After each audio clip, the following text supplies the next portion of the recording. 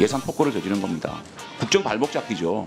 저도요, 저도요, 야당 예결위, 야당 예결위 간사도 해봤습니다. 좀 발언 좀 합시다. 자, 발언 좀 합시다. 자 조용히 하세요.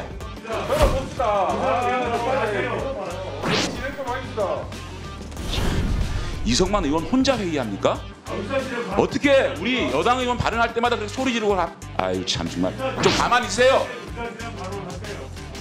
좀 끼어들지 말고 보- 아 정말 나- 자 이승만 의원. 아 정말 정말 저 왜 저러는 거야? 왜 저러는 거야 지금?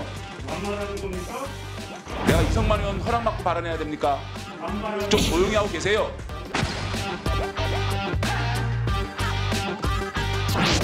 우리 지역사랑 상품권 이게 정부 안에서 전액 삭감돼서 올라온 것을 예결소위에서 7,050억 원을 살렸고 어, 여기에 대해서는 여야 간에 다 합의를 했던 겁니다. 또 법적 근거 없이 설치되어 경찰 장악 우려가 가장 큰 경찰국 관련 예산은 전액 삭감하였습니다. 어, 여러 위원님들의 에, 동의를 이렇게 말씀을 하셨지만은 적어도 제가 알고 있는 범위 내에서 합의라든지 협치라든지 또 국회의 여러 소위의 기본적인 전통들이 정말 깡그리 무시된 어떻게 보면은 다수의 힘에 의해서 강행된 그런 저는 예산안이라고 생각을 합니다. 민주당의 예산안 심사 내용은 어떻게 하면은 국정의 발목을 잡을 수 있을까? 어떻게 하면은 더 망신을 줄 수 있을까? 어떻게 하면은 이재명 대표가 주장하는 내용을 더 떠받들어서 예산안을 만들 수 있을까 하는 그것에만 골몰했다고 저는 생각을 합니다. 첫째는 아 그, 우리 동료 의원이 발언할 때는 일단 들어보세요. 에 참. 이재명 대표 얘기가 나오면 그냥 어떻게 하실 줄 모르네요. 아 정말 경찰국에 대한 예산이라는 것은 어떤 예산이냐? 그분들의 기본적인 임금입니다. 그리고 월급도 주지 말고 인식이라는 겁니다. 대통령의 주요 정책에 대해서는 그래도 예산적으로 한번 해봐라. 그리고 예산을 주는 겁니다. 이렇게 몰창스럽게 한 그 예산을 덜어내버리는 거 저는 이런 야당 정말 감정에 섞인 저주 아닙니까? 이게 예산 갑질이지. 말 똑바로 하십시오. 앉으세요. 아 참네. 아니 혼자 얘기하십니까?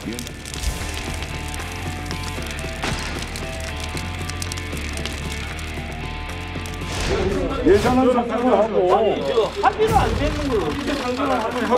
경찰국 예산 하나 때문에 나머지 모든 예산들이 다 상정이 안 된다는 게 말이 됩니까? 상임위를 거부하는 거예요 지금 위원장님하고 간사는 상임위를 거부해요.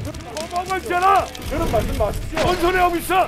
예? 뭔 소리 하고 있어? 내가 지금 반말했어. 뭐 마음대로 뭐 상정하고 안 하고 합니까? 뭔지 합의하면 안 돼. 이틀 동안 이틀 동안 소개한 거를 경찰국 경찰국 예산 때문에 나머지 예산들이 깜짝 무너졌는데. 말이 됩니까? 이런 법은 없는 거예요.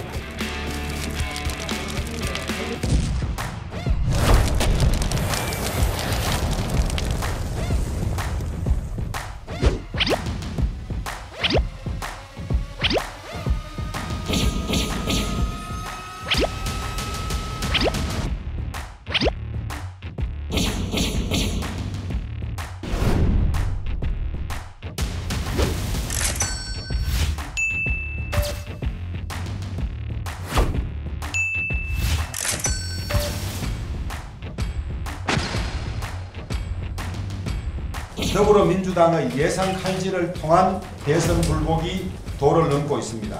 용산에 용자만 들어가도 그 예산은 전부 삭감의 칼을 무차별, 무차별적으로 들이댔습니다. 예산안의 원활한 처리를 위한 노력은 제대로 하지 않으면서 다수석인 야당의 책임을 떠넘기려고 대통령실 눈치만 보지 말고 혈세 낭비성 예산 등의 삭감, 초보자 감세 저지에 동참하길 바랍니다.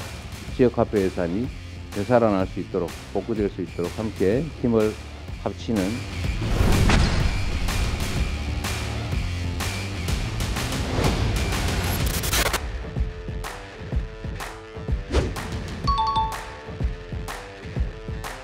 수정하는 본부 인건비 감액 규모를 1억 원으로 조정하고 지역 사랑 상품권 정액 규모를 5천억 원으로 조정하는 등의 내용으로